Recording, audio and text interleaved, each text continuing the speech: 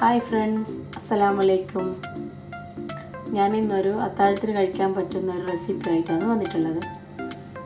നമുക്ക് അത്താഴത്തിന് ഹെവി ആയിട്ടുള്ള ഫുഡൊന്നും വേണ്ടല്ലോ നല്ലോണം. അപ്പോൾ ഞാൻ ലൈറ്റായിട്ടുള്ള ഒരു കഞ്ഞിന്റെ റെസിപ്പിയാണ് ചെയ്യുന്നത്. പെട്ടെന്ന് ഉണ്ടാക്കാൻ പറ്റുന്നത്. അപ്പോൾ നമുക്കത് ഉണ്ടാക്കുന്നത് എന്തൊക്കെ വേണമെന്ന് നോക്കാം.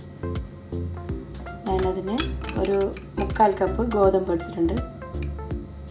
ഇത് നുറുക്കിയ ഗോതമ്പൊന്നുമല്ല ഫുള്ളായിട്ടുള്ളതാണ്. അപ്പോൾ ഇതൊരു മുക്കാൽ കപ്പ് എടുക്കുക. ഇത് ഒരു കപ്പ് ചെറുപയറുണ്ട്. പിന്നെ രണ്ട് ഉള്ളി അരിഞ്ഞ് വെച്ചിട്ടുണ്ട്.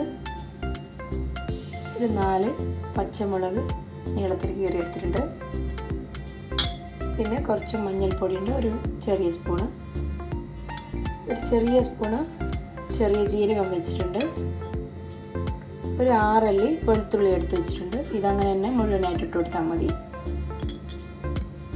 പിന്നെ ഒരു തക്കാളി എടുത്തിട്ട് വെച്ചിട്ടുണ്ട്. ചെറുതായി കട്ട് ചെയ്തിട്ട്.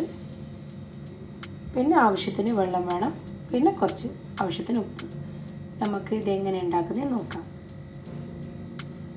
അപ്പോൾ നമുക്ക് കഞ്ഞി ഉണ്ടാക്കാം. വേണ്ടിയിട്ട് ഒരു കുക്കർ എടുക്കുക. ഇതിലേക്ക് ഞാൻ ഗോതമ്പും ചെറുപയറും കഴുകിയെടുത്ത് വെച്ചിട്ടുണ്ട്. ഇത് ഇതിലേക്ക് ഇട്ട് കൊടുക്കും.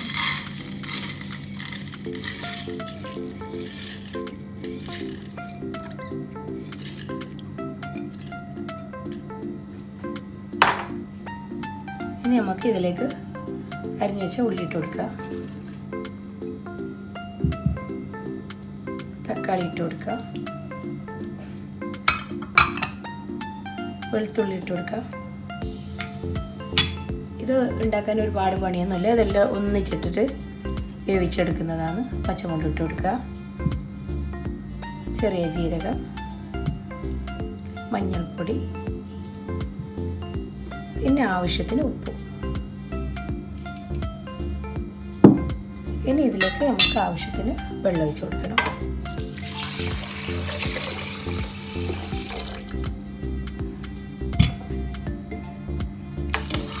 എല്ലാം മിക്സ് ചെയ്യാം.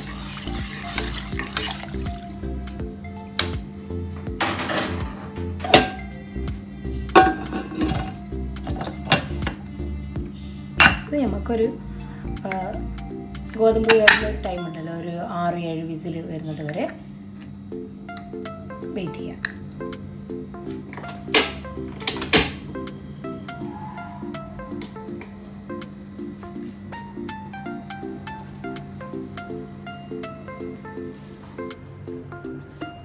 ഗോതമ്പ് കഞ്ഞി ഇവിടെ റെഡി ആയിട്ടുണ്ട്.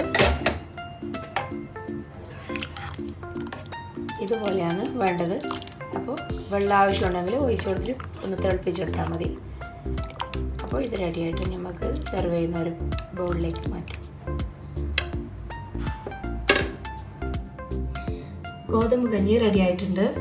ഇതാണ് ഞങ്ങളുടെ അത്താഴക്കഞ്ഞി. അപ്പോൾ എല്ലാവരും ട്രൈ ചെയ്ത് നോക്കുക. ഇഷ്ടപ്പെട്ടിട്ടുണ്ടെങ്കിൽ ലൈക്ക് ചെയ്യുക. പിന്നെ ആദ്യമായിട്ട് എന്റെ വീഡിയോ കാണുന്നവരെങ്കിൽ സബ്സ്ക്രൈബ് ചെയ്യാനും മറക്കരുത്.